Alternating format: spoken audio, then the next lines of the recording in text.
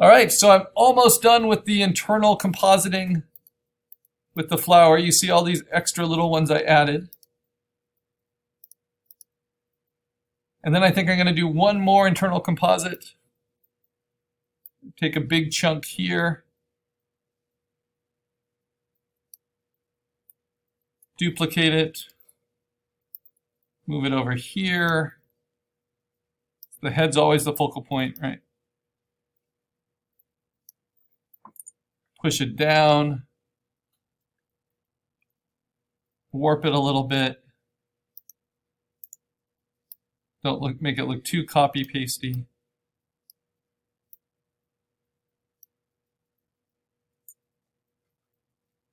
And then erase away from in front of it. Oops.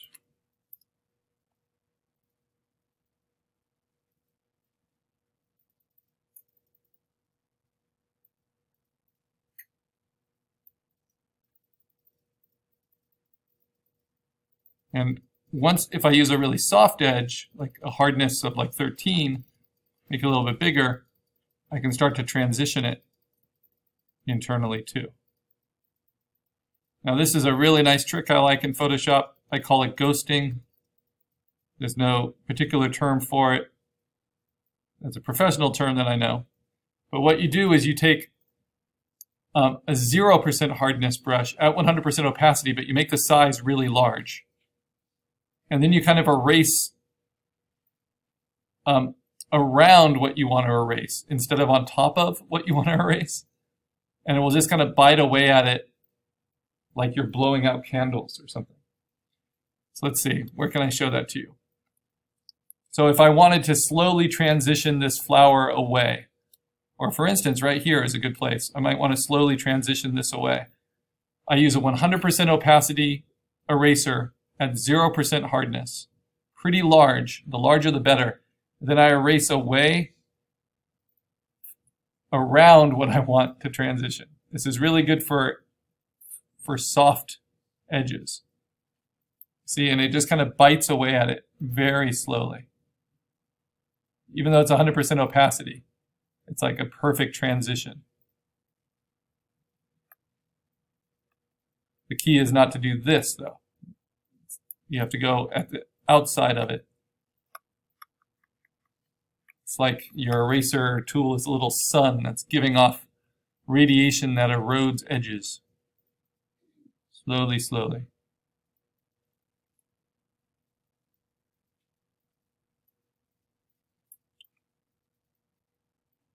All right, what I'm going to do now is take all of these layer 19 there are 18 copies, which are all the different internal compositings I did, and then merge them together, Command E. So they're all on one layer together. And what's nice about that is then I can really work with it. And I can even do little goofy things like take this whole chunk now that's combined of multiple internal composite layers, duplicate that, and then flip it, the duplicate, set it down over here, set it back, give him a little hat, and then warp it, change it.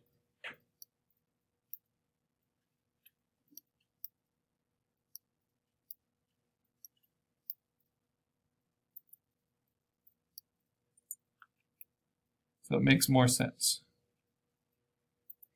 And then I think I just want to get rid of this fur back here. Use my big eraser and just bite away.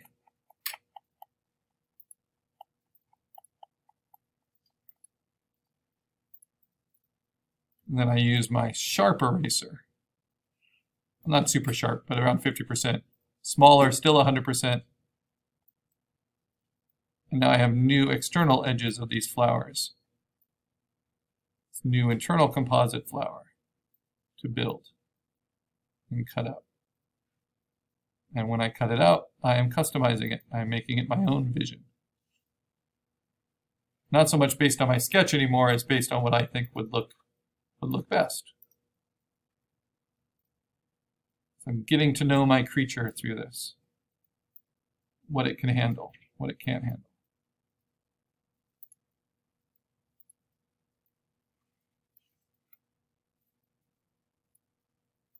All right, so now, for the most part, we're done. I hit Command S, I say save, and it looks fine. It looks like a good collage.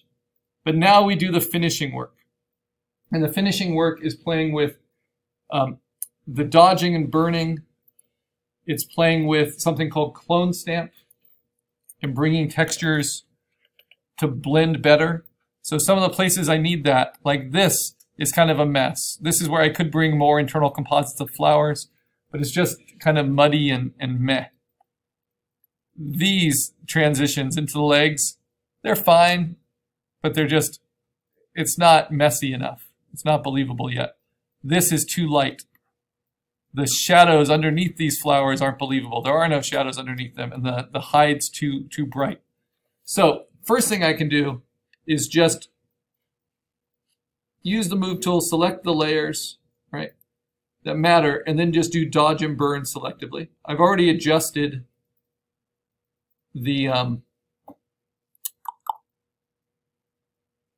the levels and the color balance on the different layers to match where I want.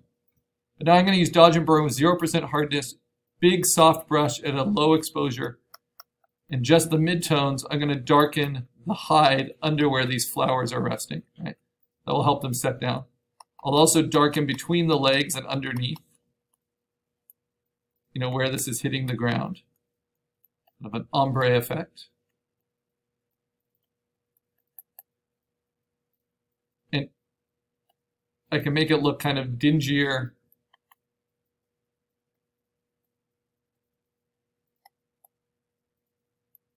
around where there's already shadows, right? It's just deepening the midtones. And then if I if I get brave, I can even try burning the shadows just a tiny bit. You don't want to push it too hard because it will go to black very easily. And then if needed, you cut it out again. If you think there's just too much somewhere like here. I don't want all that.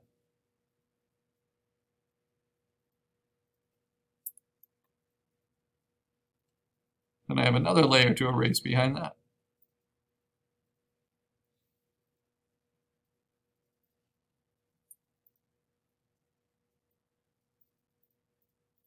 And if I think that's too sharp, I can use my eraser, I can soften it. And I can take it out a little bit by hand instead of just using the lasso for everything. Okay, so that dodging and burning helped it gets tricky when you have multiple different layers. So Now I'm going to keep burning, but I have to find the right layers to burn. And I want to get under the flowers on the hide here and at the top. And I want to get the neck. I want to burn that, deepening the contrast. And if too much color gets added in or too much color gets taken away, you might want to use the sponge tool. So I'm getting a little too much color in the hide now. Because as you burn, you'll keep saturating the color. But then I can go to the sponge and desaturate selectively. I'm going to knock that back down towards gray. You can also use the sponge to, to saturate if you've lost color.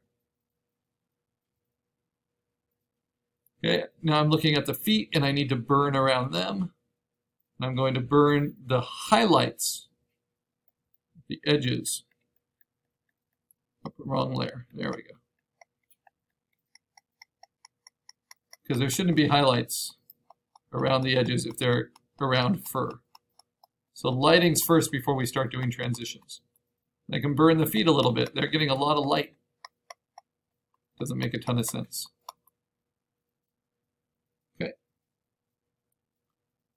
See, I want to dodge the flowers on this side. They should be catching more light. Oh, you want to be careful dodging highlights because it goes to white very quickly. So again, midtones is always what's safe. There we go, that's better. Anything else I want to dodge? Probably that. Flowers on the back.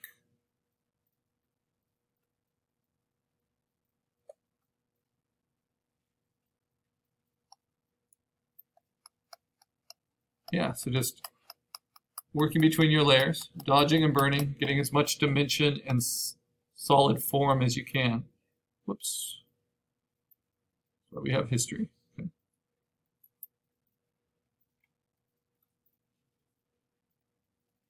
And now just by dodging and burning that seam, this looks better transitioning into the head. Okay, now this is the test. I take all my different layers. I can delete the layers I'm not using.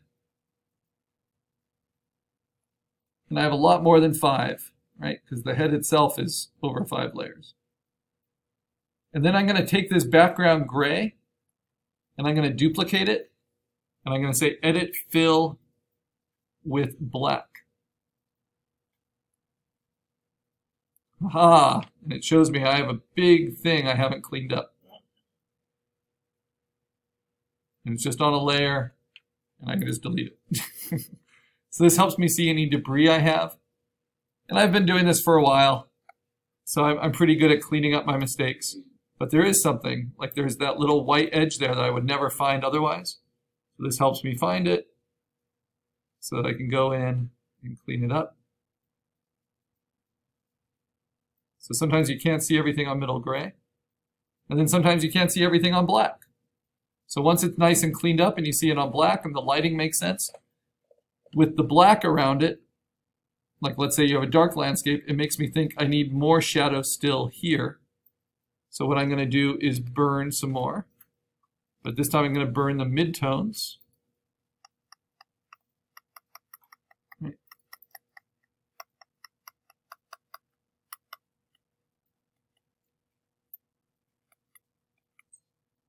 Maybe burn some of the highlights.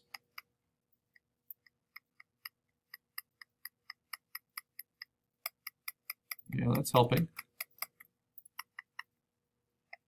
And what happens when you put something in shadow? Well, it's going to be less saturated, not more saturated. So then I'm going to go back in with that handy dandy sponge tool. Take that color down a bit. I think that makes it look too dull, I can go back and burn it some more. Not the highlights though this time, the midtones.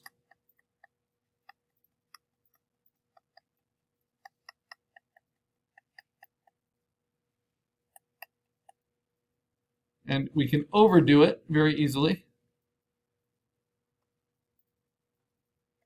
So you always want to just kind of see what you had before. That's where it was. That's what it is. Maybe I want something little in between.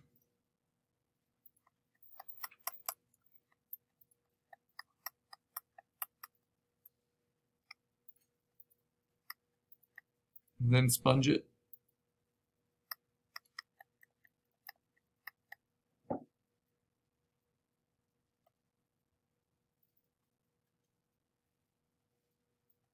It's really quick burn some of those shadows to give it that depth.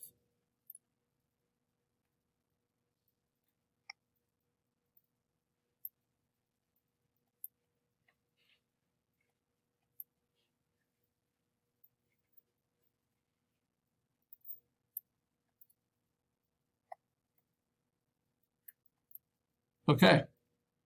So then the next trick is to duplicate that black background layer, Command J, and then say Edit Fill with white. Now this is the true test of versatility for your digital artwork.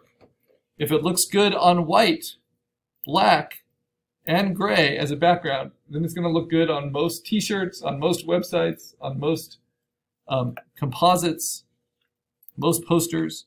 But notice what white shows me. It shows me that I have these extremely hard edges that don't really feel furry, right?